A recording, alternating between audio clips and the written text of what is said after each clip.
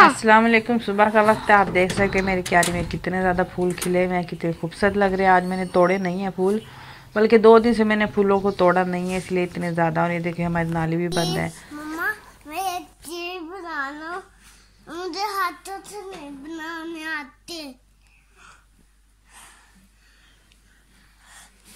मैं मैं इतना ना चाहता हूँ जानते आपके यहाँ क्या हुआ है फेस पे? इधर चल। मैं पक रहा है। क्यों? मैं तो खराब हो रही है ना। तो अभी खिलाव होली है। क्या हुआ है?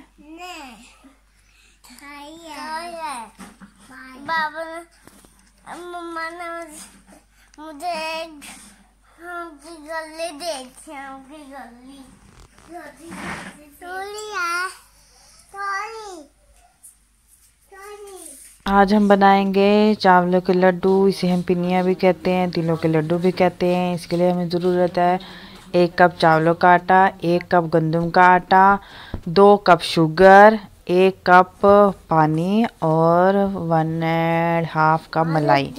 मलाई ऑप्शनल है आपकी मर्ज़ी है आप डालें या ना डालें।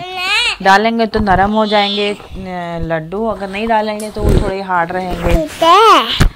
मुझे हार्ड पसंद नहीं है मुझे नरम पसंद है तो मलाई मैं इस वजह से डालती हूँ कि वो सॉफ्ट रहते हैं तो वो आराम से खाए जाते हैं। हार्ड ना थोड़ा मुझे परेशान करते हैं मुझे पर्सनली हार्ड चीज़ें इतनी पसंद नहीं है।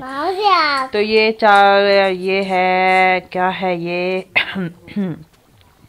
गंदम का आटा इसकी हमने भुनाई की इसमें हमने थोड़ा सा देसी घी डाला है और देसी घी डाल के इसकी भुनाई करके हमने इसको साइड पे निकाल दिया। अब बारी है चावलों के आटे की। जी। इसकी हम भुनाई कर चुके हैं। अब हमने ली है चीनी, एक कप पानी और दो कप चीनी। इसको हम मिक्स करेंगे। जब इसका शीरा बन जाएगा, अच्छी तरह फिर हम जो हमने चावलों का आटा भुना था, गंदम का आटा भुना था, पीस के तिल रखे हुए थे, इनको मिक्स करके इसके अंदर हम मलाई डालेंगे, वो शीरा डालेंगे और इसे मिक्स करेंगे। और हमारे चावलों के लड्डू तैयार हैं, पिनिया जो भी आप इन्हें कह सकते हैं। सर्दियों में बहुत अच्छी लगती है, बहुत अच्छे मज़ेदार लगते हैं, बच्चे बहुत खुशी से खाते हैं। तो इसको हम बनाकर हम इसमें मुख्तलिफ़ तरह से हम इसमें चॉकलेट चिप भी लगा सकते हैं, हम इस पर बादाम भी लगा सकते हैं, हम इस पर कोपरा लगा सकते हैं। चाहे तो तिल मिक्स करके खा सकते हैं, तिल तो इसमें डले हुए हैं, लेकिन इसके अंदर मगज़ मिक्स करके खा सकते हैं।